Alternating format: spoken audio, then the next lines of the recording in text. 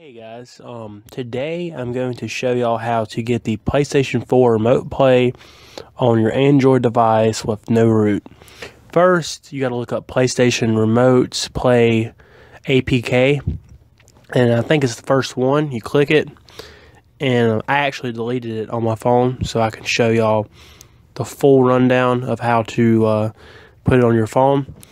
Well, you can read this, it tells you how to do everything, and right here says download the remote play apk and then optional you can download a Dual DualShock Manager but first you download the uh, remote play apk you click download and it's going to prompt you well after it downloads it's going to uh, prompt you into a apk download and you have to change in your settings for un- unknown advice or unknown um, sources.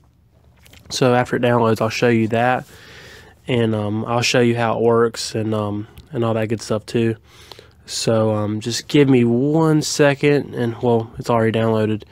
Um, right here, go to settings, go to unknown. You gotta check this, and that tells you what it means and then hit OK, install the little remote play app right here. It's already installed. You go open, and right here, you can use a DualShock 4 wireless controller if you have one. Register it first on this device.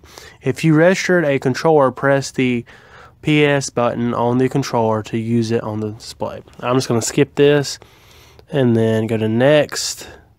And then you, now you got to look for your PlayStation.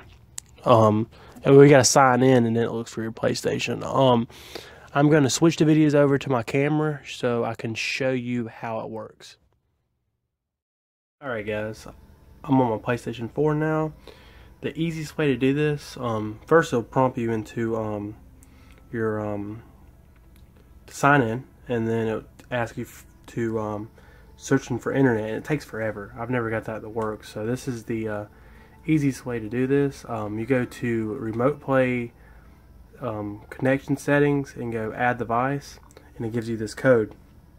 Um, so now I'm on my tablet. You go um, skip this and then it asks you for the code that's on the screen. So you put that one in right there which it always changes so it won't really matter and you clicked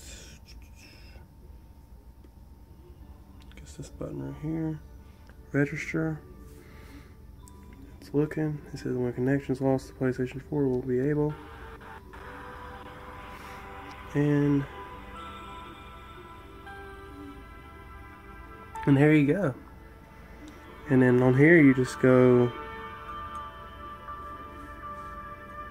turn it sideways and all your games and everything um, and that's without root that's on my Samsung device and you can also download a uh, controller device on here too to control your devices. That was the other one if you want to but it works well. I mean I can so go up here go to Madden. Launches Madden and uh, well see there you go. I hope this uh, video helps you guys and uh, leave a comment, like the video, and subscribe. I appreciate you guys and um, y'all have a uh, y'all have a good one. Bye.